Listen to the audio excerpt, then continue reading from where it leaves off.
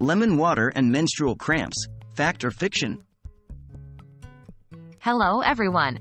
Today, we're diving into a commonly asked question Does drinking lemon water help with menstrual cramps? Let's get to the bottom of this. What causes menstrual cramps? To first understand if lemon water can help, it's essential to know what causes menstrual cramps.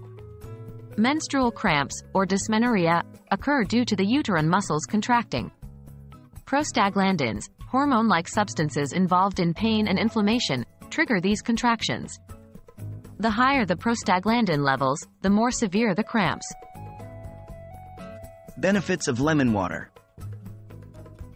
Lemon water is known for its potential health benefits. It's a source of vitamin C, antioxidants, and can help in hydration. Hydration is important because dehydration can intensify muscle cramps, including menstrual cramps. Additionally, vitamin C plays a role in the body's absorption of iron, which can be beneficial for those with heavy periods. Direct link between lemon water and menstrual cramps.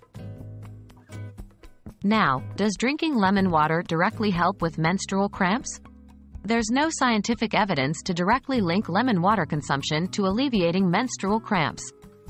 However, staying hydrated can help alleviate cramps and bloating, and lemon water is a tasty way to increase fluid intake. Other natural remedies. If you're looking for natural ways to alleviate menstrual cramps, here are a few suggestions. Heat. Applying a hot water bottle or heating pad can ease muscle tension. Exercise.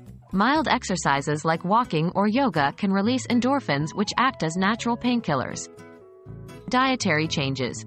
Reducing intake of fatty foods and increasing fiber can help. Some women also find relief by decreasing caffeine. In summary, while there's no direct scientific evidence showing that lemon water alleviates menstrual cramps, staying hydrated with beverages like lemon water can help reduce some symptoms.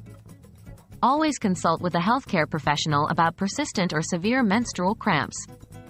Here's hoping this video shed some light on the topic.